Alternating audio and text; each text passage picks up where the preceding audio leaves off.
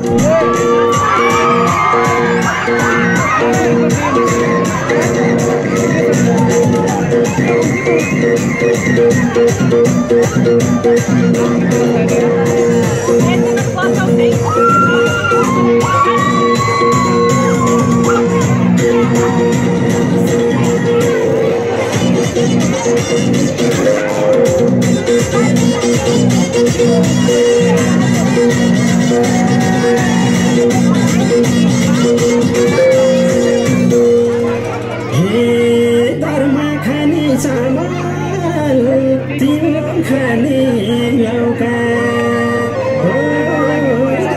खाने चामल